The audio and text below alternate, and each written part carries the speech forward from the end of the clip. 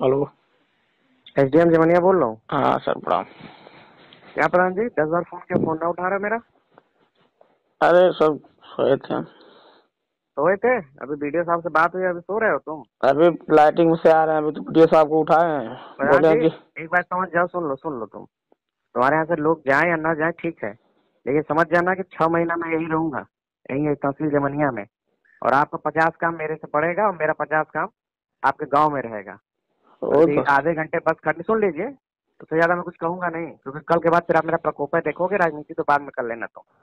लेकिन यदि आधे घंटे के अंदर लोग इकट्ठा नहीं हुए ना अपना भी समझ लेना उस गाँव का भी समझ लेना। ठीक?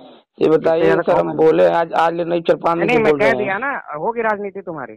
राजनीति हो गई आधे घंटे बाद साढ़े छह के बाद तुम नौ बजे से छह महीना जब तक मैं यहाँ रहूँगा तुम प्रकोप समझ लेना।